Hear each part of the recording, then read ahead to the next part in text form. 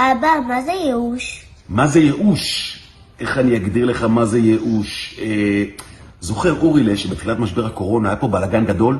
כי לא היה מטושים, ולא היה מסכות, ולא היו בדיקות, ולא היו מכונות הנשמה. אבל אז מדינת ישראל התעשתה וקנתה חמשת אלפים מכונות הנשמה ומלא מטושים ומסכות והתחילה לעשות המון בדיקות, זוכר? וזה עזר? לא. כי אז הם גילו שאין כוח אדם שיתפעל את המכונות הנשמה האלה. וגם הם גילו שאם עושים מלא מלא בדיקות, מגלים מלא מלא חולים. אז מה עשינו בזה? אבל אז הם התעשתו, והם הקימו את המערך האפידמיולוגי של פיקוד העורף, שיעשה את זה כמו שצריך. וזה כן עזר? לא, כי הם גילו שאנשים משקרים את המערך הזה.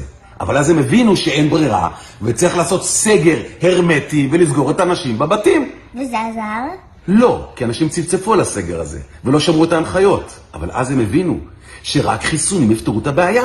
אז הם קנו מלא מלא מחיסונים, וחיסנו למעלה משני מיליון איש! וזה כבר עזר? לא, כי יש את המוטציה הבריטית. ואז הם הבינו שהמוטציה הבריטית, החיסון מנצח אותה. אז הם אמרו, ניתן חיסונים, נשים סגר אחרון קטן קטן לסגור אנשים בבתים, וזה יפתור את הבעיה. עכשיו יהיה טוב?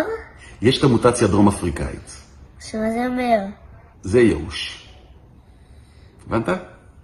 לילה טוב חמוד. או שלא.